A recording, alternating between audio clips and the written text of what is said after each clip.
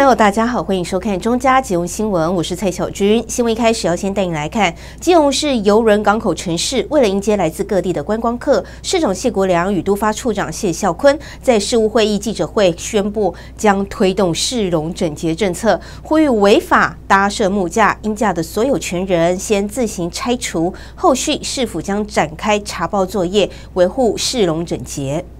为了迎接来自各地的邮轮观光客，市长谢国良继推动干净家园与行人友善政策后，再推动市容整洁政策，希望让各地的观光客对基隆有好印象，提升市民的居住生活品质。那我们今天推的政策是市容整洁，这个是继行人友善、干净家园后，我觉得很重要要去推动的一个政策。基本上我们在城市里面。还是可以看得到，有非常多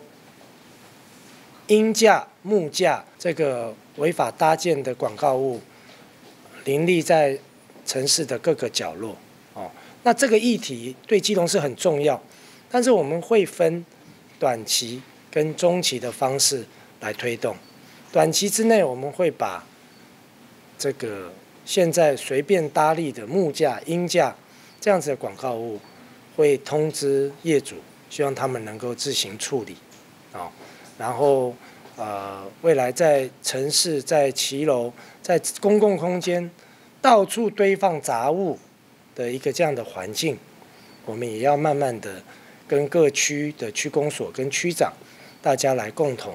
来思考改善。那中期我们会请突发处也会去研拟这些中期。广告物一个设置的一个相关的规定，好，那但是我们跟大家报告了，短期跟中期我们的策略是不一样的，但是我们的目标很清楚，就是要让我们的城市变得更整洁、更干净。让大家居住的更舒服、更安心。那我首先说明说，这个违规的这个樱木架，其实它的这些乱搭，其实第一个当然最最严重就造成我们整个市容景观的这个观瞻就不太不太的这个漂亮。那第二个当然就是它在行车，它有一些都会搭建在这个重要的我们一些路口，那也影响我们这个行车的这个安全。那第三个可能比较严重的，如果它有接近一些建筑物的话，可能也会阻挡到一些呃这个建筑物的逃生的通道，哈，也会影响这些公共。安全，所以接下来我们会推动，就是说短期的部分，我们呼吁，就是说现在有一些违规使用的这些广告的这个使用人或者是建物所有权人，那就是请大家先自觉性的可以先把它拆除掉。那后续呢，我们会开始来做一个查报的动作。那其实依照这个建筑法的相关规定，我们可以裁除这个四万到二十万。所以后续我们会开始进行这个查报的一个这个这个作业。罚则对罚则这个也让大家看到，就是依照这个建筑法的九。十五十三条，那刚刚市长有提到，其实依法是需要来申请的。那不过目前大部分都没有依法来做申请。那所以后续我们查报以后，可以依照建建筑法的相关规定来裁罚这个呃四万到二十万。那不过后续当然这个我们要建立这个很重要，就是建立民众法治的观念。所以我们也会结合相关的这个邀请相关的这个广告商工会等等的，我们来宣导如何来协助，如果有需要来设置这个合法的这个广告物，如何来做一个申请。那这个我们会跟工会来做一个配合，好，那所以这部分前期的部分先做宣导，那也请这个相关有这个违规使用的这个违广告物的这个使用者，或者是建物或土地所有权人，那就请自行拆除。那后续如果借期不拆的话，我们不但可以裁罚，那如果我们后续要进行进入到强制拆除的话，还可以跟这些相关的违规者来收取必要的费用。基隆市政府都发处表示，尤其重要路口等交通热点，常见违法的木架、阴架，妨碍市容景观，甚至也影响建物的逃生通道。市长谢国良表示，目前是宣导期，呼吁违法设置木架、阴架的所有权人先自行拆除，后续市府也将展开查报相关作业。大家一起努力，让基隆的市容更整洁干净。记者黄日升、陈淑平，基隆报道。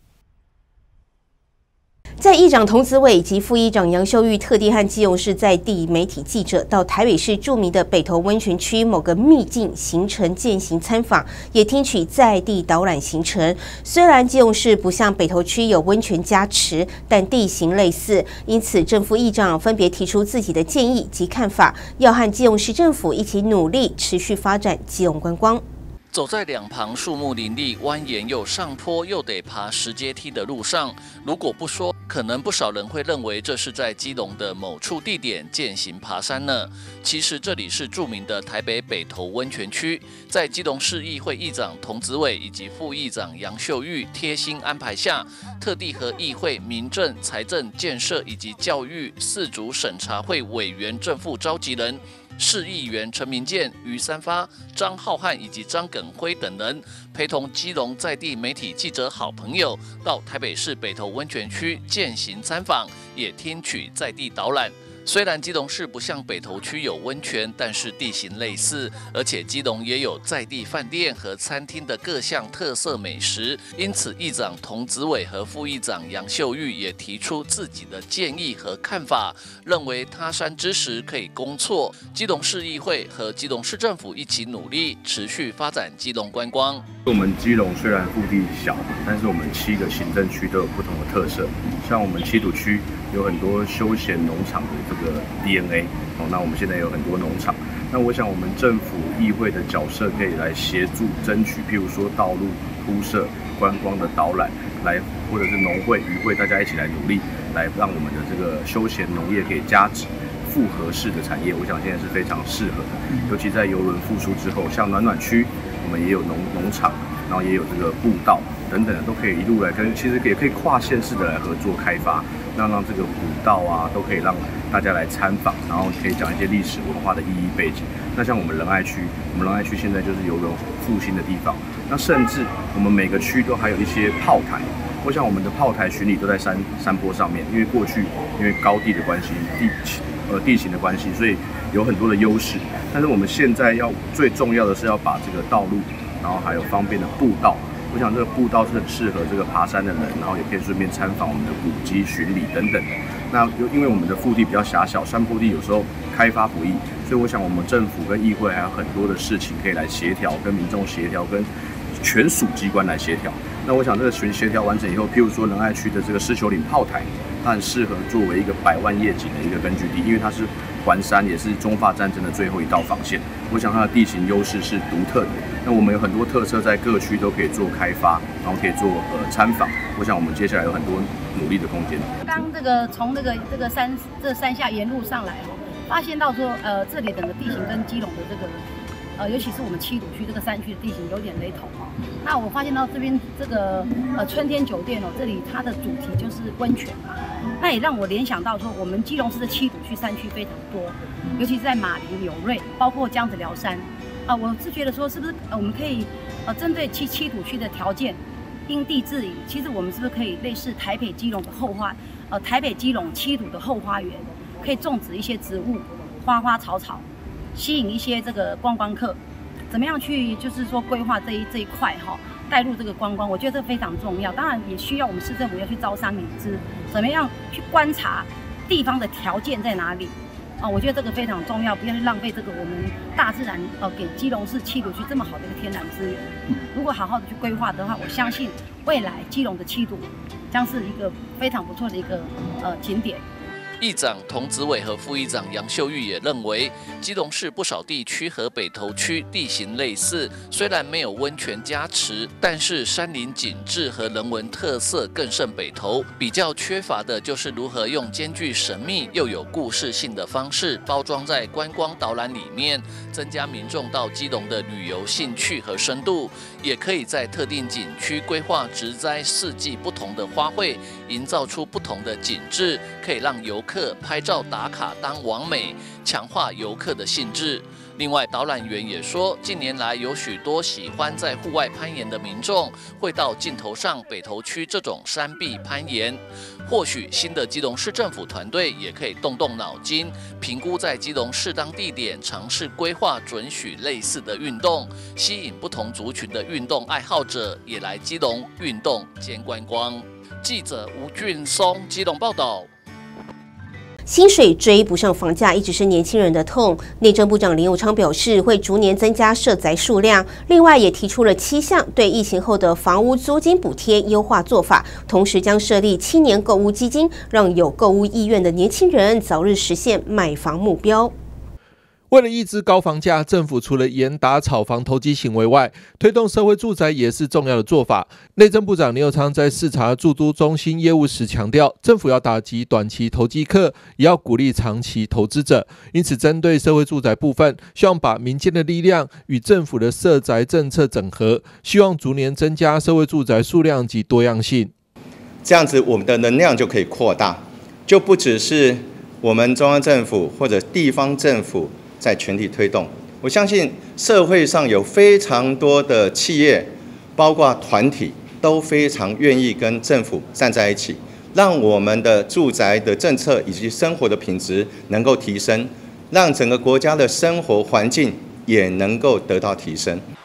而为了在后疫情时代提供有需要的民众更多帮助，内政部方面也推出房屋租金补贴金额提高、对象放宽，以及中产以下自用住宅贷款户的支持方案。其中，租金补贴将扩大纳入十八岁以上及学生租屋族。二零二三年开始，我们会随到随办。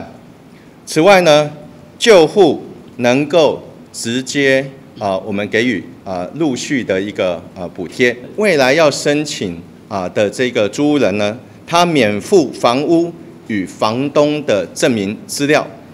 那这一点也可以让过去所谓的看得到但是吃不到的这个民众啊，在点在这一点上能够得到很大的一个方便。此外，我们也放宽了适用房屋的一个范围，会以房屋税跟地震资料来进行比对。没有资料的人可以以切结的一个方式来处理。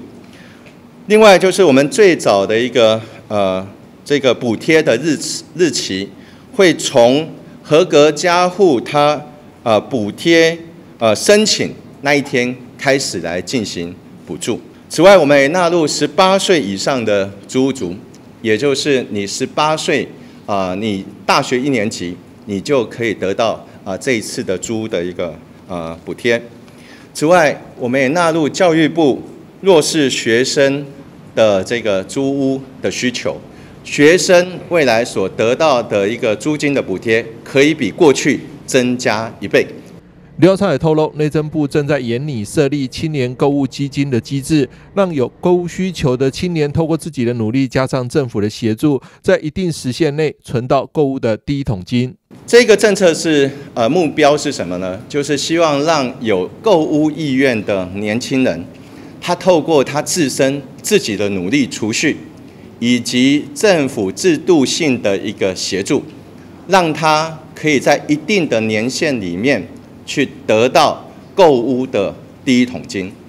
我想这一项政策将会稳定未来我们年轻人对于购屋的长期的期待跟需求。刘昌也驳斥外界所谓劫富济贫的批评，或是有排富的限制，强调政府本来就有责任协助民众。因为在过去三年啊，这个疫情的一个时间啊，很多的呃中低收入的民众。还有包括甚至我们的中产阶级都受到了很大的一个冲击，而政府有责任来减轻大家的压力。所以我要再一次强调，不是补贴，不是劫贫济富，而是帮忙有需要帮忙的人。刘昌表示，完整的住宅政策规划将先向行政院长陈建仁报告讨论拍板定案后，预计周四行政院院会后公布，希望能更全面针对问题，切中要害的一题一题解开纠缠复杂的住宅问题，让国人住得起、租得起，并能用合理价格购屋。记者张启腾台北报道。而针对内政部长林佑昌推出的租金补贴、房贷补贴等住宅政策，金融市长谢国良表示正面看待，能够帮助年轻朋友与就业民众。针对内政部长林佑昌推动住宅政策三支箭，包括扩大租金补贴、房贷补贴与青年购物基金支持机制，基隆市长谢国良表示正面看待。现在的房价以现在十几年。年轻朋友都没有涨的薪水来说，的确是一个很大的负担。所以林部长跟内政部开始推动一些政策，不论是买房的补贴，那我觉得这些都是正面，呃，开始帮助年轻人也好，帮助这些社会这些就业人士也好，我们是正面看待。哦，那我们也希望这个林部长能够在这一方面的住宅政策的。这个啊政策能够推动的更顺利，替年轻朋友做更多的事情。我们非常正面的看待这些呃住屋的政策。年轻人买不起房子，对未来感到失望，以及后续不婚不生的少子化危机，已经是台湾非常重要的国安问题。期盼中央与地方合作，务实的帮年轻人来解决住宅相关问题，这样台湾社会才能够有更多的幸福感，让大家安居乐业。记者黄日升、陈淑平基隆报道。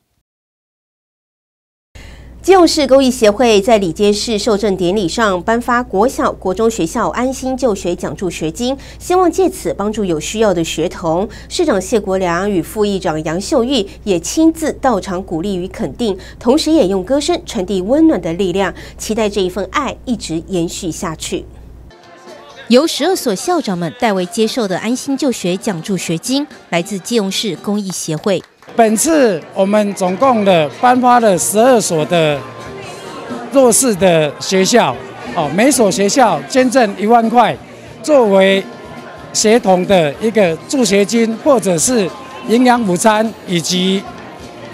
协会的一个支出，让校长能够更灵活的来运运用。感谢捐赠人士能够来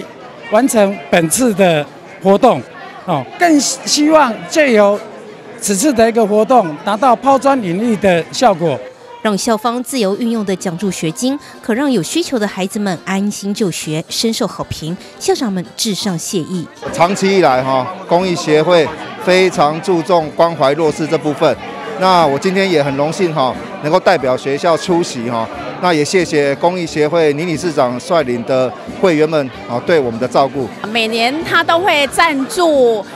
一些学校轻寒及弱势的孩子奖赞助学金，那提供这样的善举呢，发挥他的爱心，协助这些孩子能够安心就学的机会，那让孩子有发挥成就感的舞台。谢谢基隆市的一个公益协会，也让这些孩子可以得到更多学习的机会。市长谢国良及副议长杨秀玉亲自到场，感谢公益协会常年关心基隆地区弱势学童，善举温暖人间。他们平日呢就对基隆市很多弱势跟很有意义的活动啊贡献良多，所以我们也非常感谢。那这次过来是一方面祝贺，一方面市政府可以跟大家一起做公益。我觉得做公益是让这个社会产生正能量，而且让。很多的年轻人也好，我们一般的社会人士也好，可以更感到温暖的一种方式，因为帮助别人其实是最快乐的一件事情。在这边也很谢谢公益协会对这个社会的帮助。谢市长他就是要打造基隆市成为是一个有爱的城市，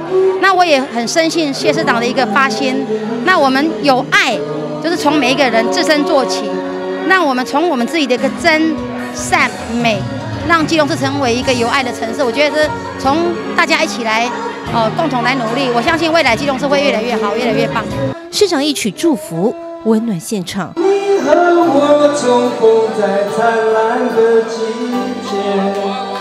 期待更多人士共襄盛举，让孩子们在求学的阶段能安心的奋发向上，不放弃任何学习的机会。记者蔡小军采访报道。基隆慈云寺整年度的重要庆典，包括了元宵节义文活动、文昌君圣诞、观世音菩萨圣诞、浴佛节及祭孔大典等，无不吸引众多信众前来。慈云寺对于重要庆典、祭祀活动及社会服务，总是不遗余力的认真规划，也因此造就了今日历史悠久、信众众多、香火鼎盛的慈云寺。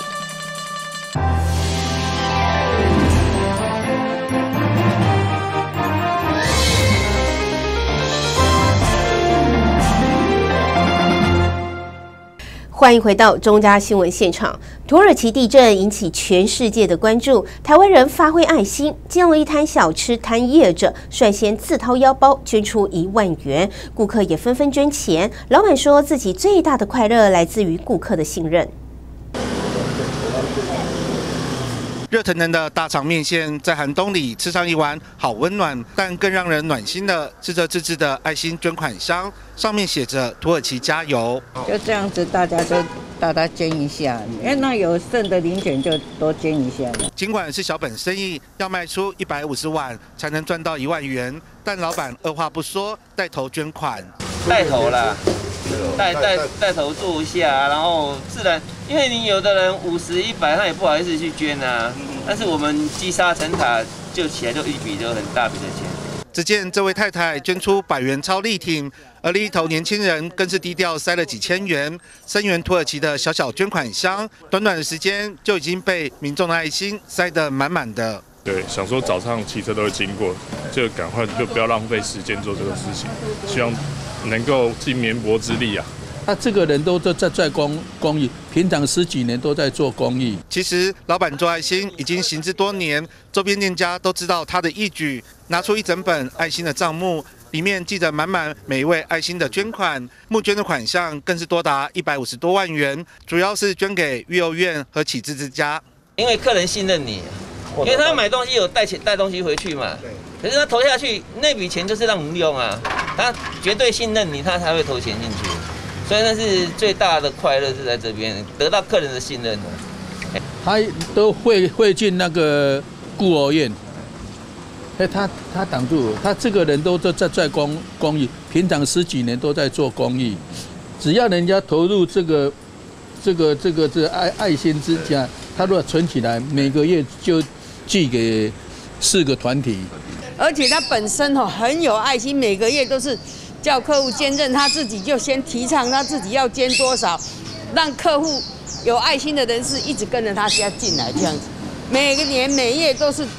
哦，差不多的。老板说，每笔款项他都记得清清楚楚，能够持续的做爱心，全来自每位捐款者对他的信任。这次土耳其发生大地震，伤亡惨重，台湾小小摊贩用自己的方式帮助土耳其早日渡过难关。记者黄少明这样报道。基隆情人湖停车场旁的蒸汽火车头竟然冒出烟耶！有网友在网络 po 文及影片，主管单位北关处检视后指出，火车头一切正常，也没有遭到破坏。究竟是手机拍摄的效果，还是有其他的原因，引起民众热烈讨论？我现在在情人湖。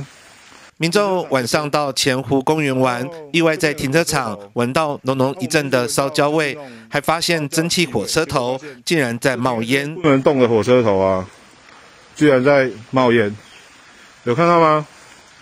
它的烟囱在冒烟呢，味道就从这边传出来的。问题是这火车头不能动了，为什么它要冒烟？实在是太诡异了！这一座基隆市政府保留的历史文物，已经几十年没有发动，怎么会突然冒烟，还有臭味？隔天一早，北关注人员到场，在火车头爬上爬下，怎么也找不出到底哪里烧起来。我们也是从那里把那个烟头打开，嘿，也是没有东西啊，都没有东西嘛？没有啊，但是所谓是从哪里烧，我们看里面也都没都没有看到嘛，都没有那些。烧的东西啊，对不对？有人放放里面在里面烧东西啊，或者在起火，怎么可能莫名其妙？我们常常来这里啊，从来没听，但我们都白天来了。哦，不可能啊！不然，但这个火车头有一个很大的缺点，它会生锈。那常常涂那个防锈油，很臭，很臭。这台蒸汽火车头是 CT 二七一型，八十一年前出厂，全长二十点九公尺，时速可以达到九十六公里。民国八三年移到前湖展示。换句话说，老火车头已经停驶了三十年，现在传出展示火车头冒烟的影片。管理单位北关处说，真实性有待调查。周边跟火车头里面都做检查过，基本上我们管理处每天例行性的清洁工作，一定是环境清洁，然后去同时检视一下火车头的状况，因为我们知道说它这部分也是呃当地游客里面比较注意的重点。对，然后我们一定会先检视那个状况。呃，北关处接管呃情人湖公园以来，这是第一次。对，这是第一次发生。那因为我们现场有装设监视器，那我们也会呃调阅一下监视器，看看就是能不能看到可能的情形。目前北关处已经调阅监视器，仔细在查证。只是停驶多年的火车头冒烟的景象，也真的引发民众热议。记者黄少明基隆报道。台湾灯会在台北市各大展区如火如荼的进行，吸引了无数人潮前往。不过有一个灯区却故意把主灯及副灯做得很不亮，更特别是它的主灯绿宝盒还可以躺。哎，一起来新义区有春皮生态湿地公园静静赏灯。在台北市新义区著名的四寿山脚下，这座古老皮塘湿地公园永春皮正在进行一场最不一样的元宵灯会。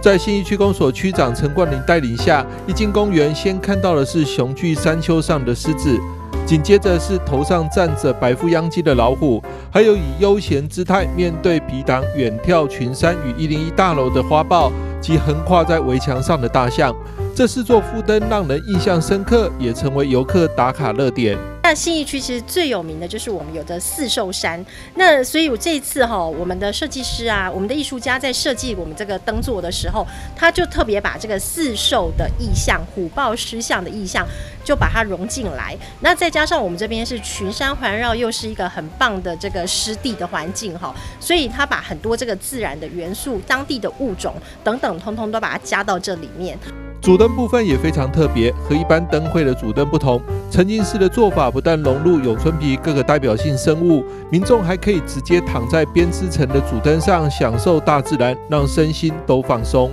我们这个是强调是沉浸式的一个灯区，天气好的时候在那边躺在那里是有机会可以看到星星的，而且躺在那边你可以安静的来聆听我们这个大自然的声音，包括很多的蛙鸣啊、虫鸣啊，甚至还有一些鸟叫声。就晚上永春皮湿地公园真的是一个非常呃很适合放松也很疗愈的一个地方。